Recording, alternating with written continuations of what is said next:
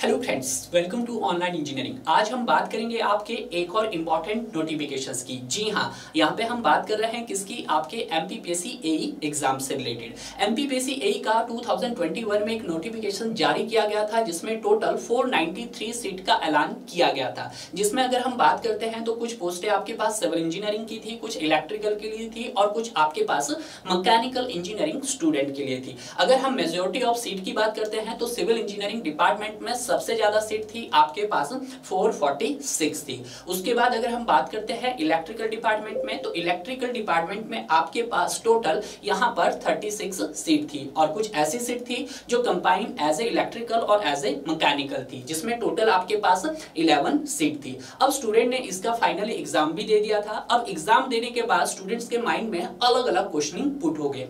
बिल्कुल होंगे।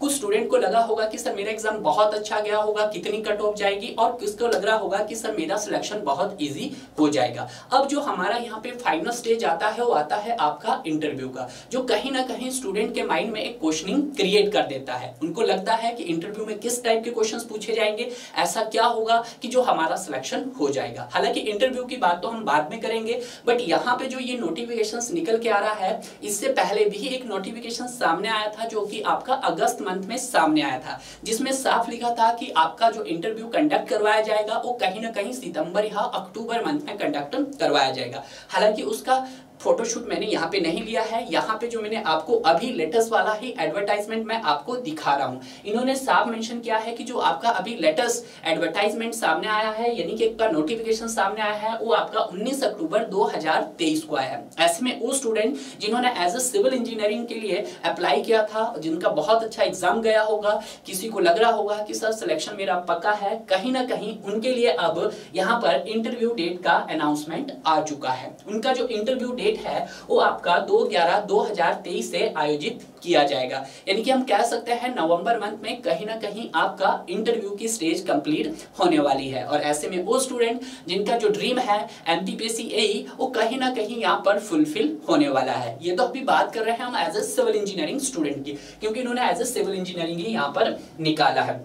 आप चाहो तो यहाँ पे ये पढ़ भी सकते हैं, ठीक है? इसका मैं लिंक आपको नीचे दे दूँगा। जैसे ही आप मेरे टेलीग्राम चैनल पे क्लिक करोगे तो वहाँ पे आपको ये पीडीएफ दे दी जाएगी। क्लियर है? तो इस तरह से एमपीपीएससी एग्ज़ाम का, जिन भी स्टूडेंट का सपना है कि सर 2023 का नोटिफिकेशन सर कब आउट होगा? हालाँकि नोटिफिकेशन की आप टेंशन मत कीजिएगा। आप अपनी तैयारियों पे अभी से फोकस कीजिएगा, क्योंकि जब तक आपका नोटिफिकेशन आएगा, तब तक आप कम से कम आपका 70 परसेंट पार्ट आपका कवर हो जाना चाहिए। क्लियर है? हालाँकि जो आपका नोटिफिकेशन से हो सकता है आपका दिसंबर के एंड तक मिल सकता है, और दिसंबर के एंड में नहीं मिलेगा तो कहीं ना कहीं आपको जैन या फाइव मंथ के मिड में मिल सकता है डियर क्लियर है?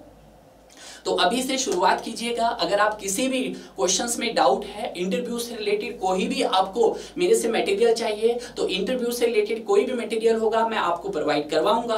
आपको मैं नीचे अपना कॉन्टैक्ट नंबर दे दूँगा। आप मुझे कॉन्टैक्ट कर सकते हैं कॉल कर सकते हैं। किस तरह की क्वेश्चनिंग आपकी एमपीपीएससी एग्ज़ाम में पुटअप होती है, आपको सारी गाइडलाइंस हमारी टीम देगी ऑनलाइन इंजीनियरिंग की फैकल्टीज देंगी।